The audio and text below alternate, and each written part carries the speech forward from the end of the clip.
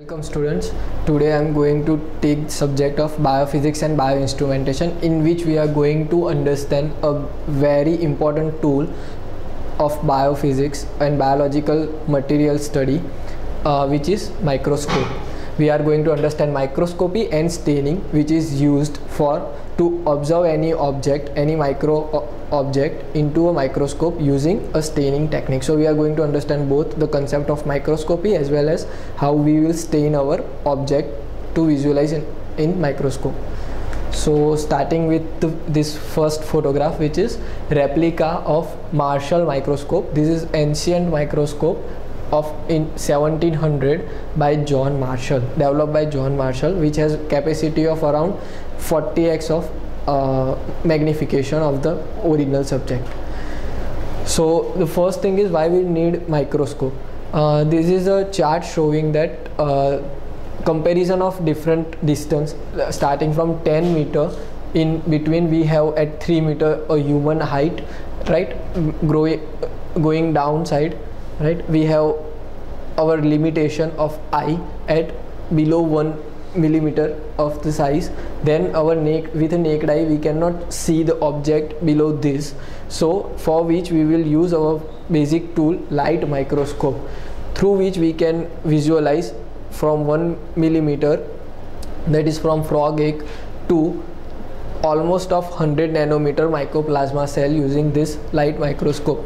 After that till atom level that is 2.1 nanometer we have electron microscope to visualize such a micro level thing with higher magnification. So starting with history of microscope. History of microscope uh, involves 1590 first compound microscope developed the inset photographies of that which was present to observe and describe microorganism who was discovered this? Antony van Leeuwenhoek which is the father of microbiology. Imaging uh, discovered by Robert Hooke. This is also an ancient microscope developed by Robert Hooke who has observed a cork cell in 1665 through this microscope which has 270 times capacity to magnify any object.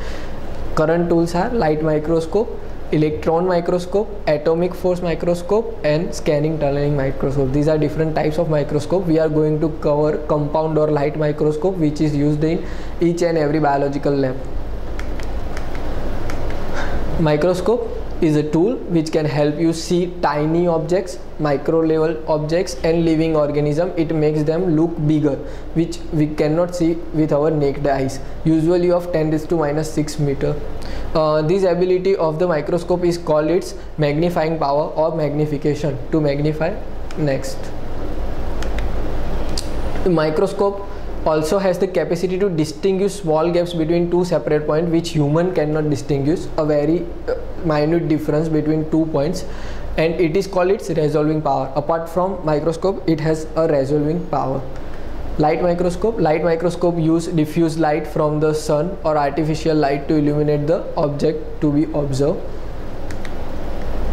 again type of microscope include light and scanning tunneling electron microscopes. Light includes bright field dark field phase contrast and fluorescent microscope. These are four major type of light microscope. Uh, this is a typical representation of light microscope a laboratory microscope. These are listed different parts of microscope like ocular eyepiece body arm coarse focus fine focus uh, nose, piece objective lens and many more. We are going to see some of these important parts one by one. This is entire diagram with its nomenclature of a typical microscope used in laboratory. Starting with the first part. First part we have mentioned is arm which supports the body tube as mentioned here. This is arm. Then second one is base which supports and stabilize the microscope. This is base which helps the microscope to be stable on table. The third one is eyepiece or ocular lens which magnifies produce object by the objective lens. The fourth one is body tube which maintain the proper distance between uh, objective and ocular lens. This is body tube. Then coarse adjustment knob move stage up and down a larger amount of focusing. This is coarse adjustment knob through which we can move this tube and adjust our image. The next one is fine adjustment knob. Small round knob on the side of microscope used to fine tune the focus of your specimen. After using this we use this to focus finely in a microscope. The seventh one is after using the coarse adjustment knob we will use fine knob the seventh one is light source which comes from the downside. Lamp or mirror is used to provide the light uh, to the microscope and project light upward through the diaphragm specimen and lenses. So light travels from this bottom part to the upward part and passing through this condenser it will pass through stage where the specimen is placed and after that it will pass through these two objective and eyepiece lens from which we can observe our image then the eighth one is diaphragm controls amount of light passing through the slide which is above the condenser which can adjust the focus of light inside the microscope. Stage and stage clips. This is the stage which has this much stage clips. These two are stage clips which hold the slide on the stage and support slide slide being viewed. So uh, lens used in the light microscope are basically two objective and condenser lens. Objective lens usually find three or four objective lens on a microscope. This this one three to four objective lens. Uh, it consists of 10x 40x and 100x one is of 10x 40x and 100x microscope. When coupled with 10x most common eyepiece we get total magnification of uh, this is 10x of uh, if 10x is the uh, objective lens magnification then there is an eyepiece which again magnify it with 10x so it will result in total 10 into 10 100x of total magnification. Likewise for 40x is 400x and for 100x it, it will give 100x magnification. Then there is a condenser lens. The purpose of the condenser lens is to focus on the light onto the specimen. Condenser lens provide a appropriate amount of light on the specimen the specimen we have putted on the stage to be seen condenser lenses are most useful in the highest power 4x uh, 4x100 and above it, it is used. The next one is objective lenses. This one uh, focus on magnify light coming through the slide. Usually you will find three or four objective lens in a microscope and having 10x 40x and 100x power as we have discussed earlier. Uh, lens is lowest power longest one is the lens with the greatest power. Lenses are color coded. Uh, there is a clear indication of how much magnification it has. And the high power objective lenses are retractable. This means that if they hit a slide the end of the lens will push in thereby protecting the lens and the slide. Uh, what it says that if we put our specimen on the stage and this this particular objective lens hit the slide. It will push itself inside and protect our specimen as well as the lens of objective lens to be bricked. High power objective lenses rotate so that 100x oil immersion lens the highest power objective lens is 100x which is also called oil immersion lens touches the oil and clicks into the place in which we put a specimen on it we will put a oil droplet and on which we will put a 100x oil immersion lens such that it will touch the oil surface so that we have we can have higher magnification and resolution. Uh, the place a small drop of oil on the slide of the center of the area. Take care not to drip the, on the stage means oil should not put on the stage. Uh, put the small drop of oil directly over the area of specimen to be examined and then slowly touch the high power objective lens of 100x onto that oil droplet. Uh, focus only with fine focus. Hopefully the specimen will come into focus easily. Do not change focus dramatically. So in this kind of magnification 100x we never have to use coarse uh, knob. We have to only use fine knob and uh, just have to adjust a little focus to have a clear magnification. Revolving nose piece 11th object which is this one. Revolving means it can rotate it itself. Rotate to allow use of uh, different power objective. We can select whatever power objective we have to use 10x 40x or 100x then the 12th one is inclination inclination joint which is available here supports the arm and controls body of the microscope which will we can move our arm and uh, control entire microscope as our adjustment right? So this is inclination. This different microscopic vocabulary includes magnification and resolution.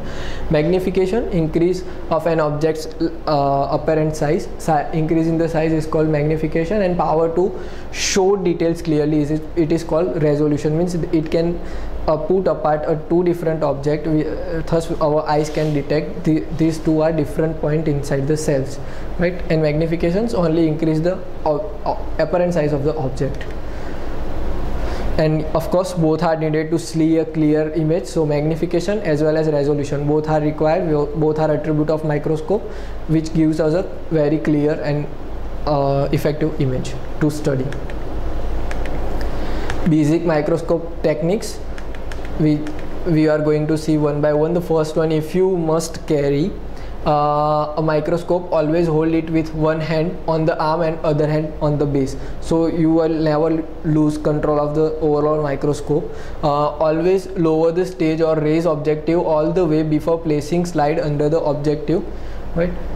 You have to see that it doesn't touch with objective lens your specimen to crush it.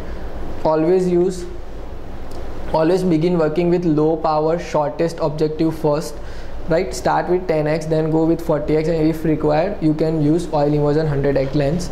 Uh, observe the slide from side not looking through the eyepiece. When using the coarse focus when you are using coarse focus use the, please see the state that it doesn't hit to the objective lens and move it accordingly. Never use coarse focus adjustment when on the medium or high power objective. Focus on low power first and then to the higher power now coming to staining. The first question comes is why stain cells? Why you have to stain cells? Cells are usually colorless. So we uh, to observe under microscope properly you have to stain it. The first one most basic reasons uh, involves are the enhanced visualization of cells or certain cellular component under a microscope. Cells may also be stained to highlight metabolic process or to differentiate between live and dead cells in a sample Cells may also be enumerated by staining cells to determine biomass in the environment of interest. How are cells stained and slide prepared? Cell staining technique and preparation uh, depend on the type of stain and analysis used. One or more following procedure may be required to prepare a sample. First, we have to prepare sample to stain and which involves this kind of techniques which is smear preparation, permeabilization, fixation, mounting and in the end staining. Smear and staining. Uh, bacteria must be stained so that they can be seen with the microscope. Uh, before staining, a smear must be made. A smear is just a film of bacteria on a glass side. On glass side, uh, the smear is a film of thin film of bacteria so that each individual cell can be visualized. After the smear dries, it is heat fixed. This kill bacteria, help other cells to the slide uh, and takes the cells more receptive to the dye. So before after doing making smear, we will do a heat fix. Heat fix we uh, pass our slide through a flame which does these three things which either cells to the slide and uh, make adaptation of our dye or a stain onto the cell very well so that they can visualize inside the microscope stains are dyes basically. They give color to our specimen. Stains uh, carry either a positive charge which are called basic dyes or a negative charge which are called acidic dyes. Bacteria typically carry a negative charge which react with these positively charged dyes which are basic dyes on the cell surface. So they attract a basic dye more because they have negative charge uh, most of the stains used in the lab are basic dyes. A negative stain use acidic dyes that do not stain the cell but rather the background. Acidic dyes don't stain our sample, it stain background and our sample appears as a outer surface. So th these are several examples of basic and acidic dyes. Basic dyes, major basic dyes includes methylene blue, basic fuchsin, crystal violet, safranin and many more. Acidic dyes include eosin, rose bengal, acid fuchsin and others.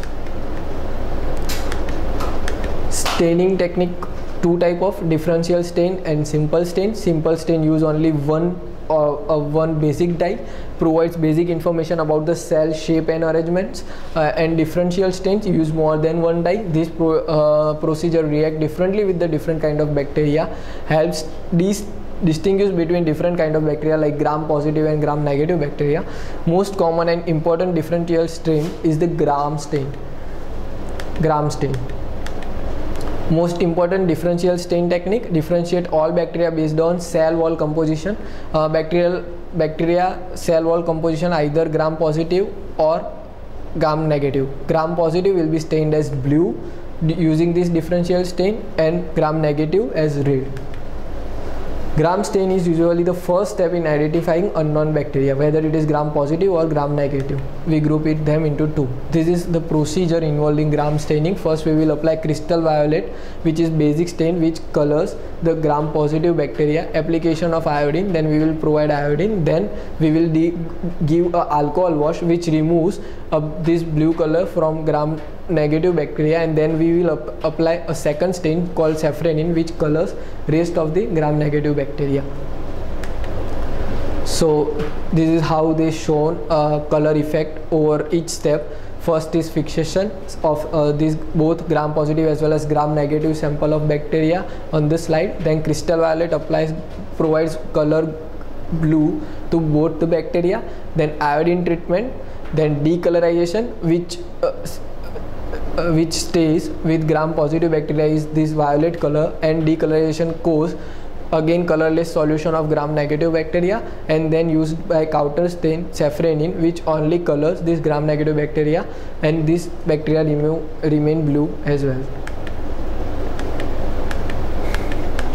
Acid fast stain one more type of differential stain. Differential stain identify bacteria with my mycolic acid in their cell wall. Its application is in uh, important in human pathogen detection especially mycobacterium tuberculosis uh, all members of mycobacterium are acid fast. So using this stain we can identify uh, infection of microbi uh, mycobacterium tuberculosis.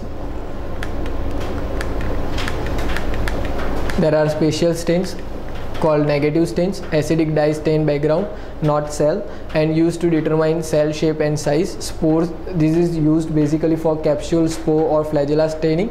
Used to identify bacteria that can form spores right? Spore forming bacteria can be identified using this uh, negative stain. These are the example of negative stain first showing capsules second for endospores and this is the flagellum staining of uh, using negative stains. Thank you